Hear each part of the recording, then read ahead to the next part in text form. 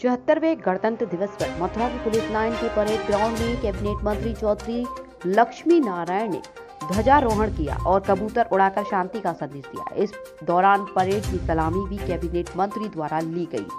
गाने की पूरी देश में आज गणतंत्र दिवस समारोह बड़ी ही धूमधाम, हर्षोल्लास के साथ मनाया जा रहा है। वहीं मथुरा ज़िले में भी चौहत्तरवा गणतंत्र दिवस पुलिस लाइन परेड ग्राउंड में धूमधाम के साथ मनाया गया। इस मौके पर मुख्य अतिथि कैबिनेट मंत्री चौधरी लक्ष्मी नारायण ने दसवीं बार झंडारोहण किया और शांति प्रतीक के रूप में कबूतर और गुब्बारों को छोड़ा इस दौरान पुलिस बैंड ने शानदार तरीके से राष्ट्रगान बजाया और पुलिस की अलग अलग टोलियाँ निकाली गईं। इन टोलियों की कैबिनेट मंत्री चौधरी लक्ष्मी नारायण वरिष्ठ पुलिस अधीक्षक शैलेश कुमार पांडे द्वारा सलामी ली गई और पुलिस द्वारा फायरिंग की गई देश महान। रूप में मना रहा है आज उन अमर शहीदों के चरणों में पूरा देश नमन करता है। एक वातावरण बना है देश में आज स्टेचू फॉर यूनिटी, जो देश की एकता का हमारा स्वरूप है, स्थापित किया गया है।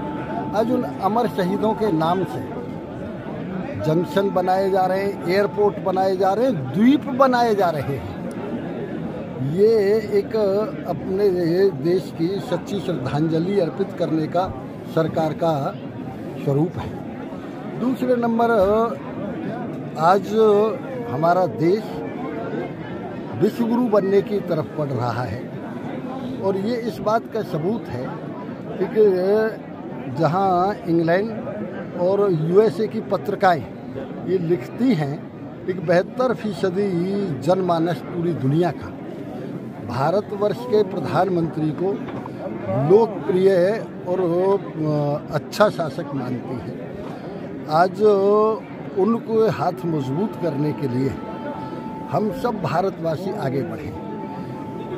जिस तिरंगा झंडा के लिए गुलामी के दिनों में जहाँ सजा भुगतनी पड़ती थी जहाँ उनको शूट आउट किया जाता था आज 15 अगस्त को पूरे देश में हर घर तिरंगा लहराया गया तो वो अमर शहीद स्वर्ग से झाँक रहे होंगे और उन, उनको ये लग रहा होगा कि जो स्वप्न उन्होंने देखा वो पूरा होगा।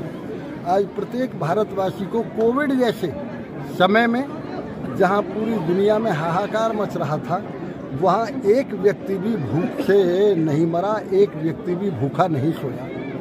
सबको जहाँ विदेशों ने भी ये कहा है कि कोविड के दौरान में जिस तरह से पहले भगवान राम के ज़माने में हनुमान जी पर्वत को उठा के लाए सजीवन बूटी से लक्ष्मण जी को ज़िंदा किया, इसी तरह भारतवर्ष में वैक्सीन देके पूरी दुनिया को ज़िंदा किया।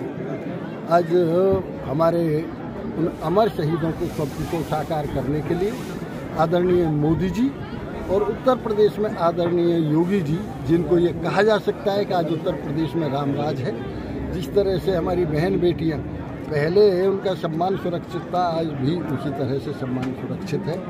ऐसे चौहत्तरवें गणतंत्र दिवस के अवसर पर आज